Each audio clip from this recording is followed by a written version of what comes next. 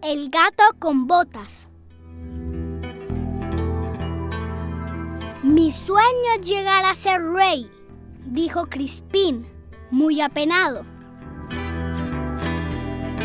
Pero nunca podré conseguirlo. Yo te ayudaré, amo, dijo el gato con botas. En aquel momento pasó la carroza real y el gato con botas decidió llevar a cabo su plan.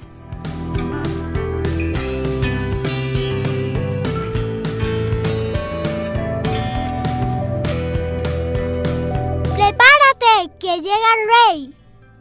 Hizo desnudar a Crispín y pidió auxilio diciendo que unos bandidos le habían robado la ropa.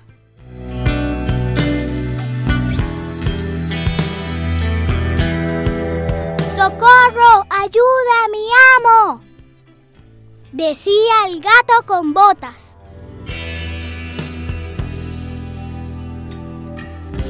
El rey se detuvo y vistió a Crispín con un elegante traje.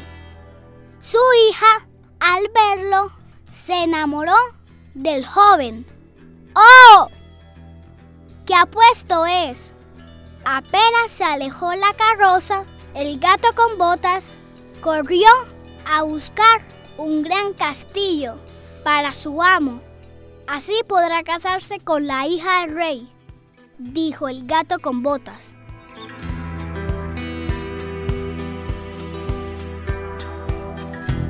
Para librarse de ella, mandó que la mataran, pero el verdugo, que era compasivo, la dejó escapar. ¿Cómo traté de tumbar mi paz?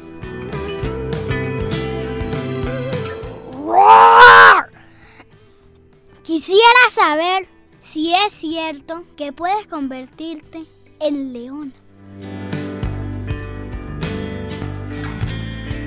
El ogro se lo demostró al instante. Entonces el gato le invitó a convertirse en ratón y se lo comió enseguida. Ya era dueño del castillo.